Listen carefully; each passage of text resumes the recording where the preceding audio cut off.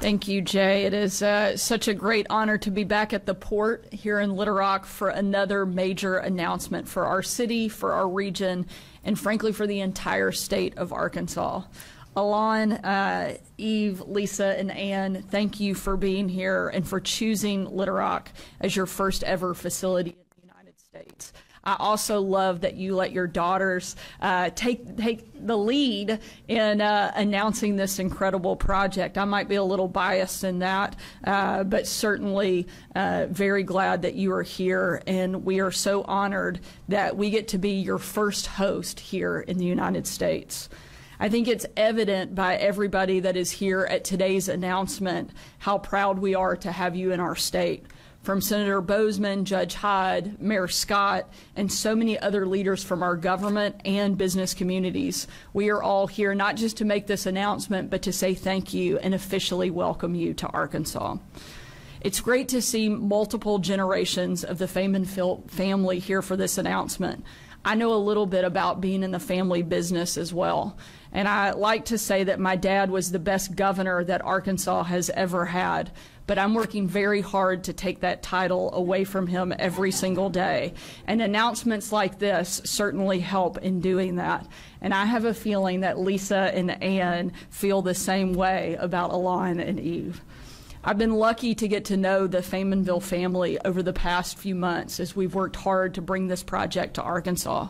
Their first trip was in June when I had the privilege of hosting Ann at the Capitol. And at the same time, our legislature was actually meeting for a special session to look at Arkansas's tax rate.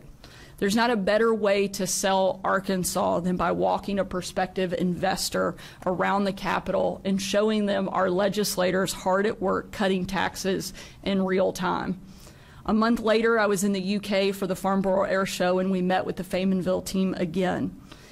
It was my first time to meet Alain, and he explained more about the company their commitment to quality, their seven generations of history, and their prospects for U.S. expansion.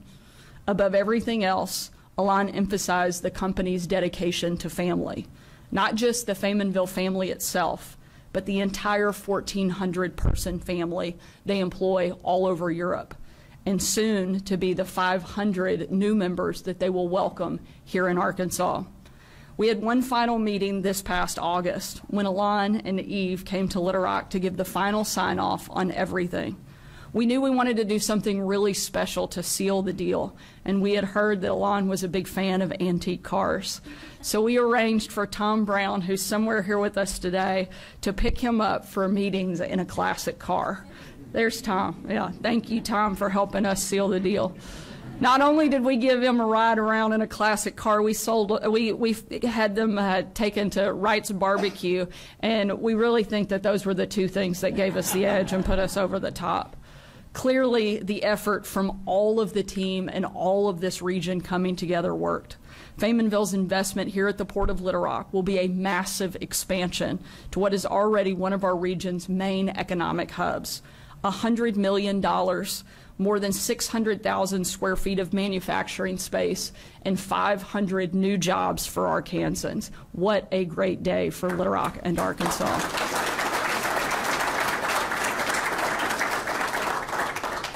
Not long ago, I had a group of professional site selectors to the governor's mansion. These are men and women who advise companies like Faymonville from all over the world where to put their next big investment. And I asked them, what can Arkansas be doing better? And their response was that Arkansas needs to be louder. Arkansas is doing great work to attract business, but more people need to know about it. That means showing up. It means cutting taxes, growing our workforce, investing in education, but most importantly, letting the world know the great things that we're doing. And yes, if it comes down to it, it means getting a classic car guy for a guy, for someone who might invest $100 million in your state. They said Arkansas needs to get louder. I told them to be careful what they wish for. Never give the green light to Southerners to get loud. we certainly will do that, and particularly about this announcement today, because we know what a big deal it is for our city and for our state. And I want to thank the many people who worked so hard to make this deal happen. The Little Rock Chamber, our mayor, the team at AEDC, Clint and Hugh, and all of the, your group, our county, our state, and our legislative leaders. And most importantly, thank you to Faymonville for believing in Little Rock. I know that we speak, I speak for everyone when I say we're ex excited to officially be part of your family. I now have the privilege of introducing my good friend and America's favorite senator. I get to say that because I'm the speaker. And uh, I have uh, nicknamed him that. I'm going to continue saying it. But Arkansas Senior Senator John Boozman, who has worked tirelessly with the rest of Arkansas's congressional, congressional delegation to be a champion for Arkansas on Capitol Hill. He's one of the best there is, not just in government, but anywhere that you will find. And so with that, I will turn it over to Senator Boozman.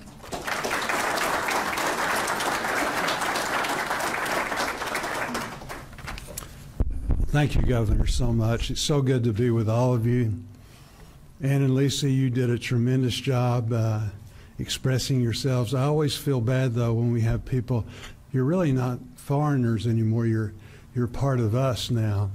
But I always feel bad when uh, people from other countries speak better English than I do. but we are excited to welcome you to Arkansas and host its first production site. This is a great story to share because it's our state's it demonstrates our state's industrial success and future potential, which is the, the team in Faymonville clearly recognized when selecting the Port of Little Rock as home base in America. This major investment will create hundreds of new jobs for Arkansans and represents, represents a very serious confidence in our workforce and business climate.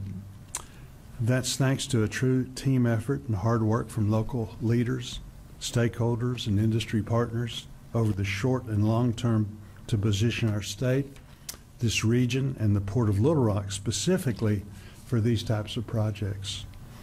Faymonville has already found firsthand that Arkansas wants to welcome investment that creates good paying jobs and supports long and rewarding careers. We continue to develop and adapt our workforce to step into these roles. That continues to be a priority here in the state, and our congressional delegation is committed to supporting the programs and partnerships that help establish or expand them in communities throughout Arkansas. I want to especially thank the governor and her team and for the hard work that they do, their commitment to the state of Arkansas. We can talk about a lot of things, but the most important thing is being able to to have a good job and support your family. And that's really what this is all about, is bringing great jobs and great people to the state of Arkansas. So we really do appreciate your presence.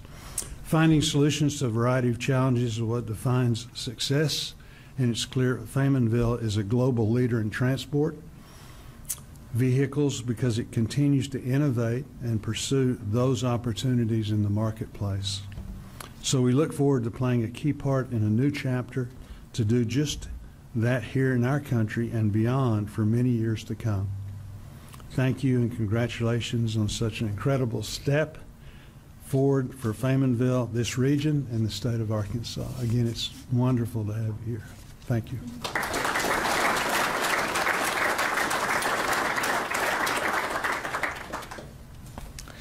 Hey, good morning, everyone. My name is Clint O'Neill, Executive Director of the Arkansas Economic Development Commission. Just want to add my congratulations and my, my thanks to the Faymonville family. Um, and I, I, just want to say I'm sorry for the time you guys had to spend looking at other states before you started focusing in on, on Arkansas. As you did this multi-state uh, location analysis, um, you know, projects come to us in all different forms we work very hard at AEDC to, to generate leads, to work with our community partners. Uh, this is a project that uh, that came to us from the Little Rock Regional Chamber. I know that they were given heads up by your partners at, at Hale uh, Distributor, Trake and uh, Trail, Trailer and Brake. Um, we'll, we'll, take a lead anywhere we can get it, and then we put it through a process. Uh, for us, it was a relatively fast uh, project. I was just talking to Secretary McDonald about you know, some of these projects that we work 12, 24 months from beginning to end. We, we do uh, so much work to find real estate, so much work uh, hosting site visits, all of that. Uh, really want to give a shout out to two people that were instrumental in this project. Jack Thomas from the Little Rock Regional Chamber and Reagan Pugh from our team at AEDC. Uh, Jack was the point person locally. Reagan was the point person at the state. Reagan, I think that you should be telling other folks on the business development team, I, I don't know what your problem is. Uh, you know, we can close these deals in, in four or five months if you just work hard enough. But, um, you know, I, I, I love a project like this, a family-owned company that, uh, that, that makes decisions by the numbers, but also makes decisions by gut feeling. Um, and so it's just a real honor that, uh, that we were able to, to be a part of this, all the small touches uh, from the very first site visit. And after that uh, dinner that we had at Samantha's and, and uh, over to the Capitol Hotel, just the conversation with you and Paul and Jack and Reagan, just we, we just decided, man, we, we really like this family. We, we've got to win this project. And then, uh, as has been discussed, the, the lunch in, in London. You know, the second time uh, you guys came, I had just gotten back from that trip to London. I was not yet over um, jet lag. And so we're at dinner with, with Jay and with the mayor and, uh, and with Alain and, and Yves. And Alain, I remember uh, you, you're, you're very passionate when you speak and you're very direct, and I like that. And, and you said, I've never seen anything like this before. And, and I didn't really know what was coming next. I was, uh, and uh, just said that the way we've been treated around here is second to none. It, uh, it- the customer service from, from a state and from a local community. And, uh, and so it's, it's just such an honor to be a part of this. We thank you so much for this incredible investment and uh, look forward to working with you for many years to come. Thank you.